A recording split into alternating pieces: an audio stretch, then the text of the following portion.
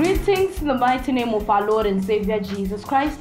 Thank you for watching Charis TV. Indeed, 2016 is a year of fulfillment of God's word upon your life as we are approaching our first week of grace of this 2016 that will start from the 28th of March until the 2nd of April 2016. This week of grace will begin at 10 o'clock in the morning until 5 o'clock in the afternoon. So, this is a seven days week of grace from Monday until Saturday, where you come and meet with the men of God on one on one. Indeed, the grace of God that brings salvation has appeared to all men. On this week of grace, you can call us on the following numbers that are appearing right now on your screen to book when you would like to come and meet with the men of God on on one on one. So you choose between the 28th of March until the 2nd of April 2016. So it's a one day where you come and see the man of God on one on one. And after the end of your session with him, he will also give you the anointing water of the spray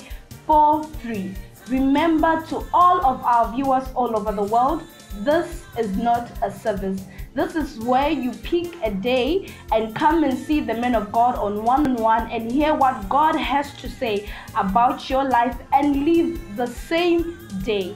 And I believe that as the grace of God has appeared, your life will surely change. For more information, you can contact us on the following numbers that are appearing right now on your screen. So, this is a week of grace for you. 28th March until the 2nd of April 2016 from 10 o'clock in the morning until 5 o'clock in the afternoon. May the good Lord surely bless you wherever you are.